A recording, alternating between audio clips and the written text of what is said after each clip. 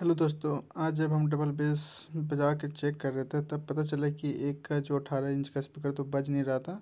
तो हमने देखा तो पता चला कि उसका लीड काफ़ी तरह, बुरी तरह से जल चुका है। अब देख सकते हैं किस प्रकार जल चुका है। काफ़ी ख़तरनाक, पूरा जल के काला हो चुका है। और इसको रिपेयर करेंगे।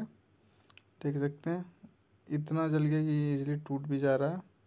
इसको रिपेयर करने के लिए। सबसे पहले तो सोल्डर आयरन को हीट करके जो बचा हुआ पार्ट है, उसको अच्छे से निकाल लेंगे। देख सकते किस प्रकार निकाल लिए और देखिए, इतना मोटा था फिर भी ये जल चुका है। और इसके बाद जो ऊपर का पार्ट है, उसको भी अच्छे से इसका जो स्पीकर का कॉइल का जो लीड होता है, उसको निकाल लेंगे अच्छे अच्छे तरीके से, कि टूट ना जाए। सोल्डर से हीट करके जो कि सोल्डर वायर का जो ग्लू होता है, उसको निकालेंगे धीरे धीरे इस प्रकार देख सकते हैं। उसके बाद फिर देख सकते हैं। काफ़ी ज़्यादा टाइट है, इसके कारण से अब हम इसे अच्छे तरीके से जो कि इलेक्ट्रिकल जो चिमटी होती है, उसके थ्रू इसको पिघलाकर अच्छे से निकालेंगे। स्लोली स्लोली इतना टाइट जो है कि निकल नहीं रहा। फिर भी इसको किसी निकल, अब ये निकल गया। देख सकते हैं।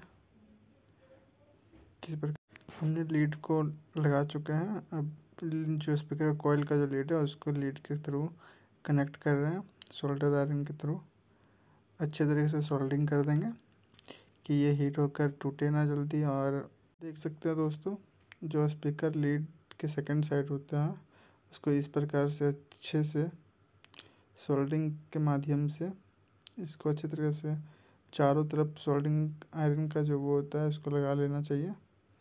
और उसके बाद अच्छे तरीके से देख सकते हैं, इस प्रकार आप भी कर सकते हैं। अगर आपका कोई स्पीकर का लीड कट किया हो तो आप अपने घर पे खुद से कर सकते हैं ये काम। और जिसके कारण आपको कुछ पैसा भी बच जाएगा और आपको दुकान पे जाने हरासमेंट भी नहीं होगा।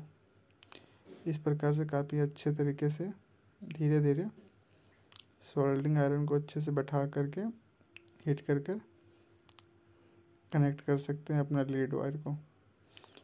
देख सकते हैं इस प्रकार से कनेक्ट हो जाएगा अच्छे पर, अच्छे तरीके से। और ये देखिए, कनेक्ट छोड़ दिया। अच्छे तरीके से लग रहा है, ये चिपका नहीं है। अब ये चिपक जाएगा, अच्छे तरीके से देख सकते हैं। ये देखिए ये देखिए, चिपक ये हो गया, देख लीजिए। और अब देख, चलिए इसका टेस्टिंग करते हैं हम लोग। पहले तो इस स्पीकर को हम लोग फिट करेंगे कैबिनेट पर, उसके बाद इसको हम लोग बजाएँगे। चलिए तो आइए हम लोग देख सकते हैं, इस प्रकार से आप फिट कर सकते हैं। स्पीकर तो टाइट हो गया दोस्तों। अब चलते हैं इसकी टेस्टिंग की और और आपको सुनते हैं इसकी आवाज़ बेस पावर रेडी स्टार्ट